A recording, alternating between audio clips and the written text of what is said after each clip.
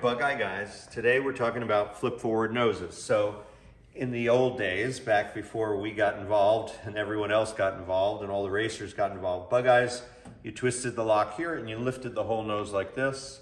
And now that we've all aged a little bit and our backs are sore, there's a lot of demand for this option, which is to be able to flip the nose like so. This happens to be an electric bug eye. Try not to be distracted by that. It's a little bit different, but the nose is the focus of this little video. And I have to tell you, I added this flip forward conversion onto my own car just last year because after lifting, lifting 3,000 of these over the years, my back's been getting a little sore. So this is a, a delight. And um, you know, for our demographic that loves these old cars, it's particularly delightful. But even if you're uh, a younger person who hasn't got a sore back yet, um, this is a great innovation for access. And that's why racers, even probably right back in the early 60s when Bug Eyes were first launched, they made this conversion because it was so much easier to get at everything under the hood. So it's a wonderful innovation. We can't recommend this highly enough.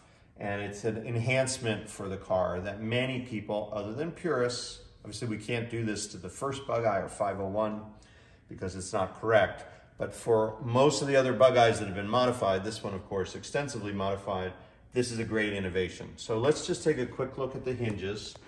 These hinges are mounted on this original bumper support. This is the frame rail from the front. These little frame horns are on every bug eye. They're awful, often bent, so sometimes you have to straighten them. Don't be distracted by this is the low voltage battery for the electric car, unconventional but the frame rail is the same and it's mounted here and this block is mounted right here on the nose. We've painted it on this particular car and the, the hinge piece is here. And then this little slide is what stops the nose from hitting the ground.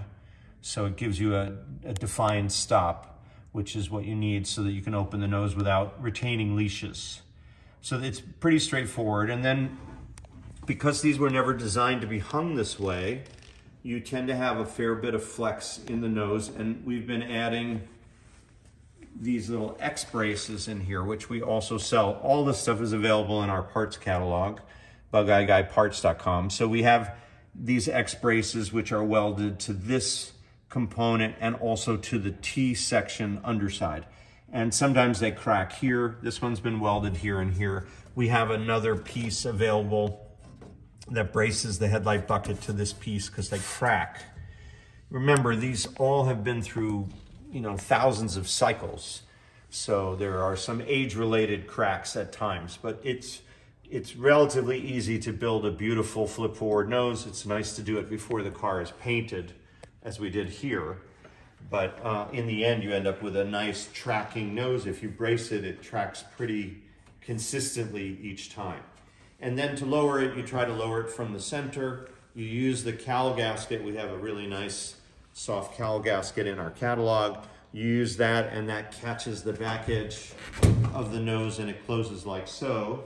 And then over here for the latches, we just use these simple straps. The, there need to be the rubber blocks here, which we also sell, and that catches the nose too. And then this strap is simply three sheet metal screws into the rocker panel, three through bolts into the fender wing, and then a leather hold down like so, this little buckle. It gives it a vintage look, and it's all you need. It's all you need to hold the nose down. They don't, they, they don't tend to move. It's a heavy enough piece that it sits just as you see. So let's walk over and look at the pieces. This is the hinge piece that you saw which is rotating either one of these ways. And then this is that mounting block that was on the nose. These are the tracks that allow it to limit its throw and the hardware. And that is the flip forward nose kit that we sell here at Bug Eye Guys.